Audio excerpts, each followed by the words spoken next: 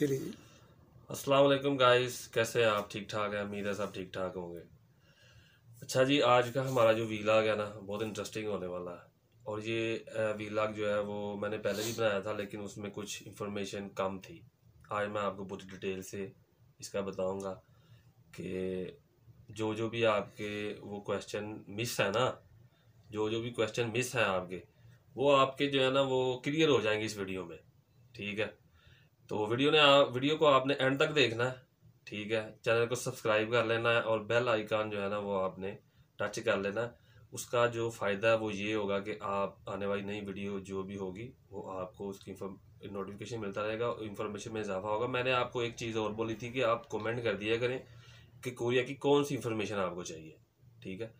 मैं कोशिश करूँगा कि वो आपको सौ परसेंट हकीकत पर मबनी हो। यहाँ पे आपको पता ही है कि सैलरी एक ऐसा टॉपिक है, ऐसा इशू है जिसमें जो है ना ऊपर नीचे होता रहता है। मतलब आप इस बात को, इस पर भी मैं एक पूरा वीलॉग बनाऊँगा आपके लिए, ठीक है? आज मैं आपको बेसिक सैलरी जो कोरिया में होती है और आप कितने पैसे बचा सकते हैं, बड़ा क्वेश्चन मैंने गर्दश करते देखा है कि कितने पैसे जी हम बचा सकते हैं और मतलब कितने घर भेज सकते हैं और क्या खर्चा होता है यहाँ पे और किस तरह, ये सारा मैं आपको डिटेल से बताऊँगा। अच्छा जी, शुरू करते हैं बेसिक सैलरी से।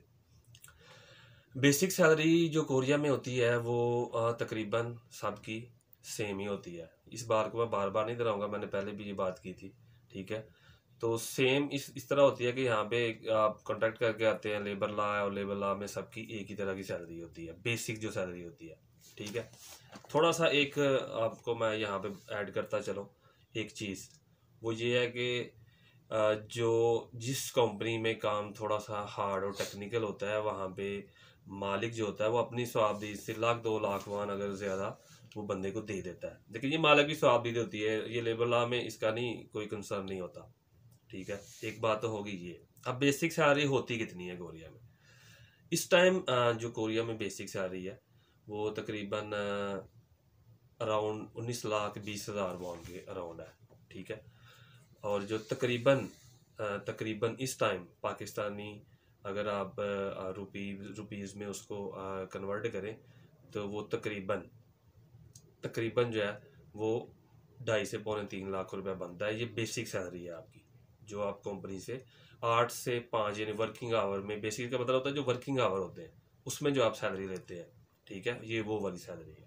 हाँ जी, आगे आ जाए एक और बात मैं आपको बताता चलूँ इसमें कि जो थोड़ा सा ये भी लोगों को कन्फ्यूज़न रहती है यार मैं भी अगर कोरिया में बेसिक सैलरी सेम है तो मैं जिस कंपनी में काम करता हूँ मेरी कम निकलती है वो मेरा दोस्त है वो मेरे साथ ही आया था सेम सिस्टम है फिर उसकी क्यों ज़्यादा निकलती है? कंपनी डिफरेंट है। एक डिफरेंस आपको मैं छोटा सा बता दूँ इस, इसको समझ लें।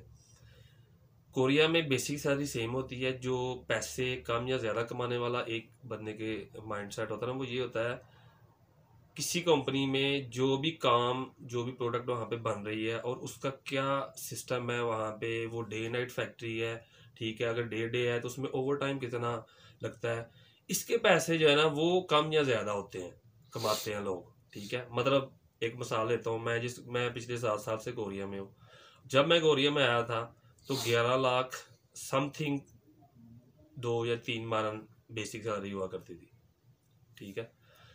तो आ, मतलब अगर मैं आ, बात करूँ कि अगर आ, मैं जब पैसे कमाता था तो उसमें हमारा जो प्रोडक्ट बनती थी वो हमारी फैक्ट्री थी day night one week day one week night और नाइट में आपको ओवर टाइम ज़्यादा मिलता है और आपको नाइट अलाउंस भी ज़्यादा मिलता है। एक चीज़ ये हो गई जो ऐड होती है इसमें जिस जिसकी वजह से सैलरी बहुत अच्छी बन जाती है। अगर आपकी फैक्ट्री डे डे है ठीक है? अगर आपकी फैक्ट्री डे डे है डे में काम कर रहे हैं डे में ये होता है कि आप पाँच बजे तक वर्किंग आवर्स के बाद आप कितना ओवर टाइम लगाते हैं? पाँच घंटे है, तीन घंटे है, चार घंटे है, ठीक है? वो आपका साथ ऐड हो जाता है। उसके पैसे बनते हैं। ये डिफरेंस है बस। कोई ज़्यादा कमाता है, कोई कम कमाता है, अपनी अकॉर्डिंग टू योर कंपनी कि आपकी कंपनी की प्रोडक्ट और कंपनी का जो काम करने का तरीकाकार है, वो किस तरह का है? डे नाइट है ज़्यादा से ज़्यादा ज़्यादा बनेगी। डे डे में अगर ज़्यादा वो टाइम लगाते हैं तो ज़्यादा बनेगी। और अगर सैटरडे संडे छुट्टी है तो सैटरडे में काम करेंगे तो वो आपको डेढ़ गुना मिलते हैं। वो आपकी और उसमें प्लस हो जाएगी। तो ये डिफरेंस है। ठीक है? बाकी बेसिक सबकी सेम होती है। एक तो चीज़ होगी ये वाली। दूसरा। दूसरा ये है कि आप जो है ना, वो थोड़ा सा अगर हम ओवर टाइम की बात करें, जो आपका प्लस होता है सैलरी में, ठीक है?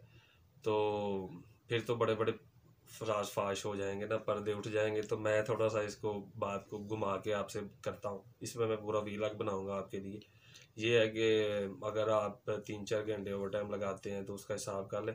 मतलब अराउंड आपकी बत्तीस तैंतीस लाख सैलरी फिर निकल आती है।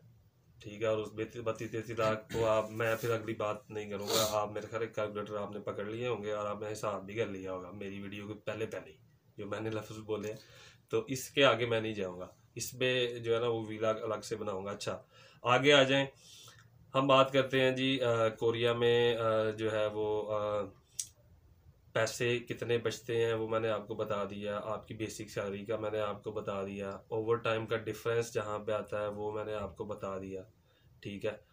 अब हम जो एक और एक छोटी सी चीज़ है वो भी मैं आपको बता देता हूँ। वो ये है कि अगर आप सम टाइम ऐसा होता है कि कई, बहुत सारी फैक्ट्रीज ऐसी होती है जिसमें थोड़ा काम सीज़न वाइज होता है, ठीक है?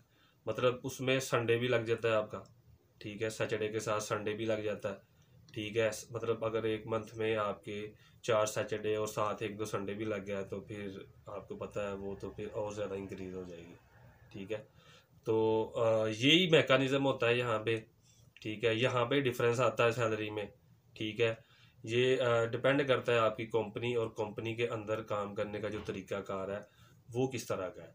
ठीक है? इसके अलावा कोई जो आपको इंफॉर्मेशन हो, आपको कोई किसी ने तला दी हो कि यार इस तरह, उस तरह, इस तरह, ये कोई ऐसी चीज़ नहीं होती है। यहाँ पे हर चीज़ सिंपल है। एक मैकेनिज्म है, वो सिंपल है। वही बना होता है और उसी पे ये चलते हैं। ठीक है? और डिफरेंस भी वहीं पे ही आता है। ठीक है? इसके अलावा कोई चीज़ नहीं है। एंड में मैं आपको ये बताता चलूँ कि मेरे भाई, मैंने पहले भी बोला था किसी भी किस्म की इंफॉर्मेशन हो, आपके जेन में सवाल आता है, आप कमेंट में करें। जिसको जो कमेंट ज़्यादा होंगे, उस पर हम वीलाग बना दिया करेंगे।